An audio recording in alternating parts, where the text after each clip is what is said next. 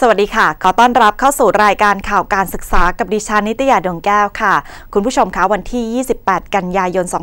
2560 นี้นะคะ ก็เป็นวันครบรอบ 100 ปีที่พระบาทสมเด็จพระมงกุฎเกล้าเจ้าอยู่หัว รัชกาลที่ 6 พระราชทานธงไตรรงค์ให้เป็นธงชาติของประเทศไทยค่ะ จึงขอเชิญชวนให้คนไทยทุกคนนะคะ พร้อมใจการประดับธงชาติไทย เพื่อเทิดทูนสถาบันชาติ ศาสนา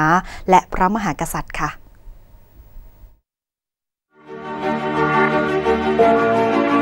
พร้อมครับ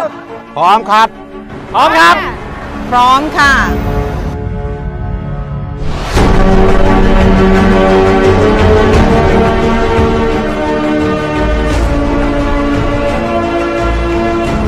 ขอเชิญทุกท่านร่วมกันประดับธงชาติไทย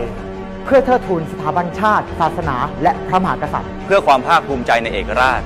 และความเสียสละของบรรพบุรุษไทย เพื่อแสดงความรัก ความสามัคคี และความเป็นหนึ่งเดียวของคนไทยทั้งประเทศ